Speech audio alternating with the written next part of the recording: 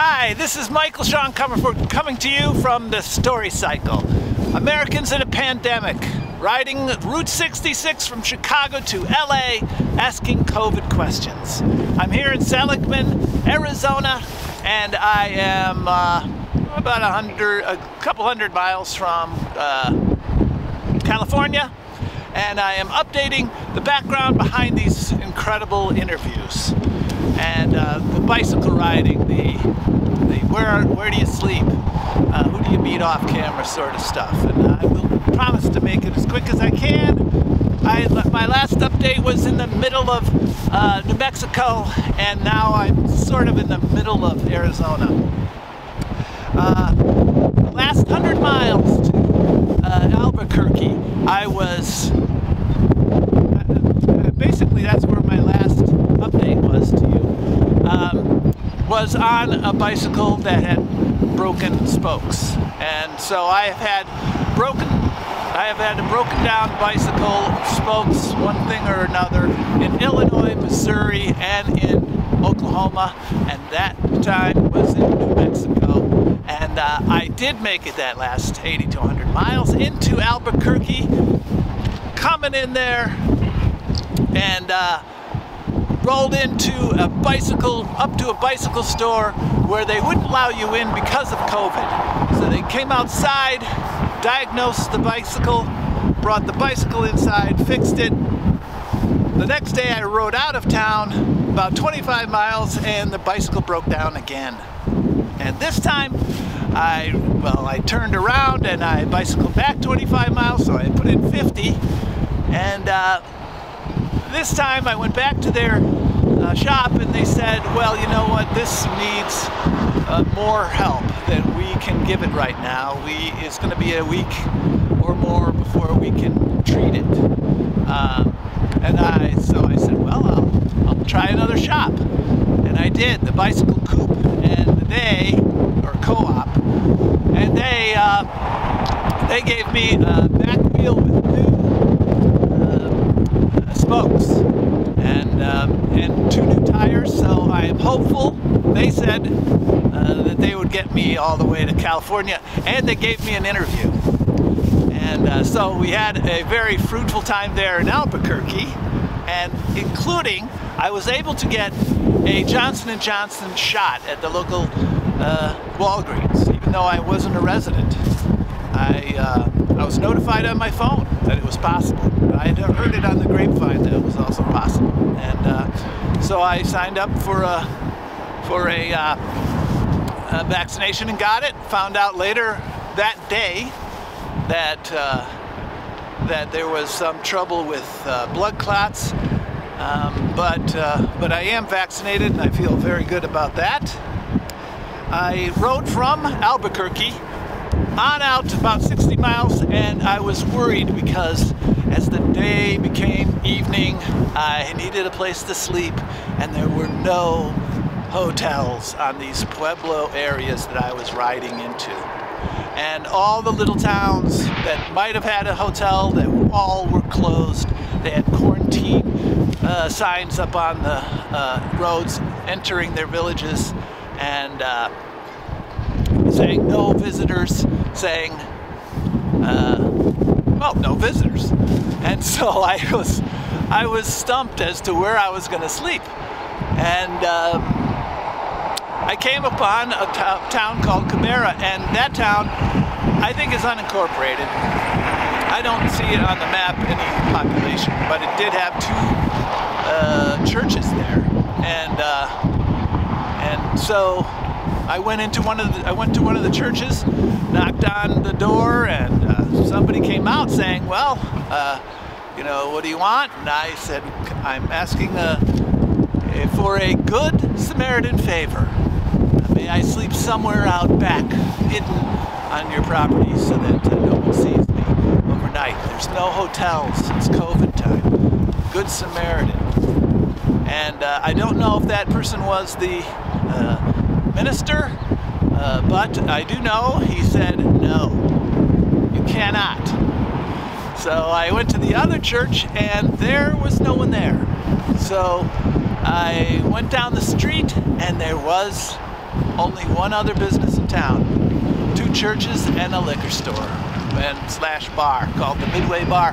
And I went in there and there was a guy with a beard and a mask and bulked up. I later find out he's a veteran of three tours of Iraq and one in uh, Afghanistan. And there was a young uh, lady there with him sitting nearby. And uh, I said, look, I'm thirsty. He says, here, have a free wa water on the house. And then uh, I said, well, I really need a, place to sleep. The church said, no, just right down the street. He goes, well, you can sleep out back. And I said, thanks. And, and I went out back and I, I got an interview from him and I got an interview from his girlfriend who was from a local, uh, from a local Pueblo. And, uh, and she came out later and said, do you want free pizza? So I said, no, I don't want free pizza, but I had, at that stop, I had a rest stop, I had a uh, water, I had two interviews, and I had a place to sleep, and there was a throwaway carpet in the back, so I threw my tent on top of the carpet and fell asleep. And uh, that was not an all bad night, but it was, uh, it started out very precarious. I also was able to go across the Great Divide in New Mexico on a snowy, freezing cold day and uh, uh, had to uh, change uh, gloves along the way in order to make it, but did. It was very enjoyable, beautiful, and uh, and that it was. That's what I want to say on that. And then another time uh, in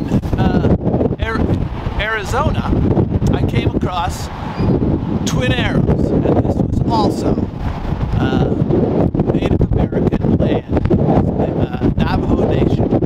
And uh, I pulled in and uh, to a uh, Navajo Blue truck stop. And at this truck stop, uh, I thought, well, maybe if I go out to the trees in the back, I can throw up a tent, no one will notice, or even if they do, the truckers are sleeping nearby, and why not me? So it didn't work. The security guys came by, they tossed me off very kindly, very nicely, but they tossed me off and I, I drove my bicycle, rode my bicycle over the uh, I-40 and uh, just have to watch that a little bit. And uh, so I went out into the desert, thought I was going to pitch my tent in the desert, and I hear howling.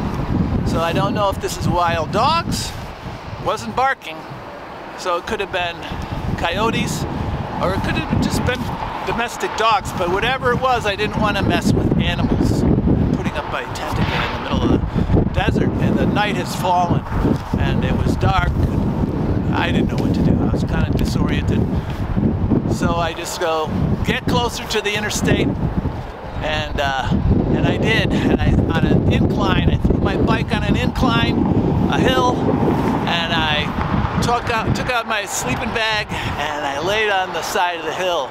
And this is a dark sky country near Flagstaff. And uh, I looked up at the stars and I saw more stars than I had seen in decades.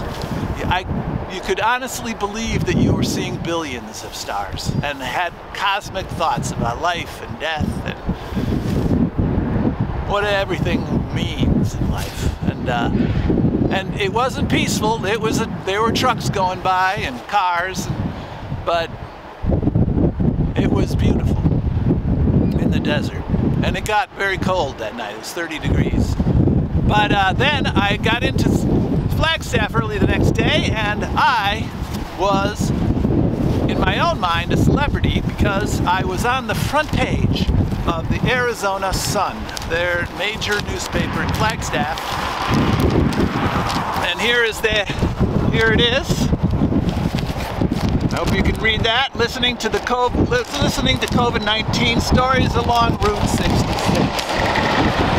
And uh, so I, I had a great interview there, and uh, and oh, I had many interviews with uh, people in Flagstaff that were terrific. Uh, as a way of uh, of giving more background on all these rides uh, that are off interview. And I wanted to mention that there is so much nature out here. The wind, the, the cold, the heat. Uh, ahead of me are going to be deserts a lot of uh, degree days. But right now it's 55 degrees and the wind is about 20 something uh, miles an hour. But, uh, but also I got to see wild horses roaming around and I, and I got to see two vultures, a roadrunner, uh, legions of prairie dogs, uh, hawks, dozens and dozens of hawks, and, and uh, roadkill. Uh, I saw a porcupine, a large porcupine, a wild hog or a wild boar, and uh, a pony, a wild, a wild horse. And, um, and so all these things are the background to these incredible COVID stories. And uh, there are even stories that are off camera. People just don't want to go on camera with. And I'll be writing about uh, more. I'm taking them down in the diary. But all of this is going on uh, as background to this historic year where COVID is, um,